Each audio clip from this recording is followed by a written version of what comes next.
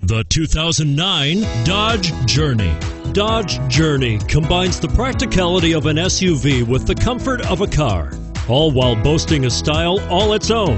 The Journey's optional third row seat, along with innovative features like a chilled beverage cooler and in floor storage bins, make it a good and affordable alternative to a traditional minivan and is priced below $20,000. This vehicle has less than 45,000 miles. Here are some of this vehicle's great options.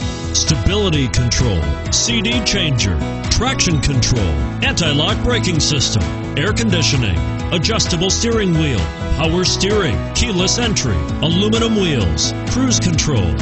Come see the car for yourself.